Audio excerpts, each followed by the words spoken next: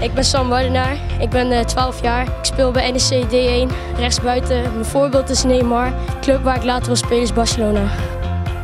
De truc heet eh, de Rainbow Flick. Wat je doet is, uh, je dribbelt met de bal, zo. En wat je dan doet is, je zet je, bal, je voeten zo op de bal. Dan gooi je hem omhoog en dan probeer je met je andere voet over je heen te gooien.